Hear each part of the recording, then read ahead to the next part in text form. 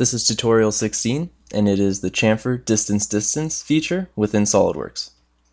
To start off, open up the chamfer tutorial part which I have included on the DVD.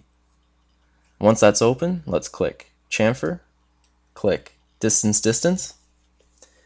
Now in this feature, instead of using an angle and a distance, you're using two distances to create the chamfer. So let's click on one of the edges again and you can see a preview again of our distance distance chamfer. So let's start out both at 10 millimeters.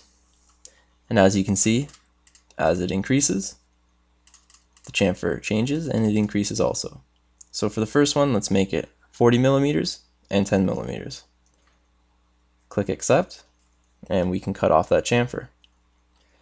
Now, just like before, we can extrude out with the chamfer using the distance distance. Now for this one, let's make it 10 by 10. Click accept, and we've chamfered out 10 by 10 there. Now on the back, let's click this line, click chamfer, click distance distance, and for the first one, let's make it 20. And instead of making this one 20, you're able just to click equal distance, and they're both at 20.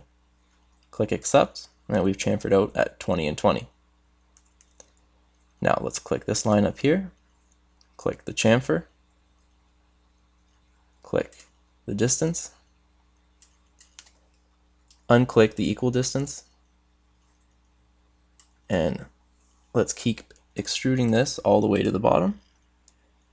And let's make this go all the way to the side. Now click OK and we've chamfered that whole plane there. This concludes our tutorial on the chamfer distance distance feature within SOLIDWORKS.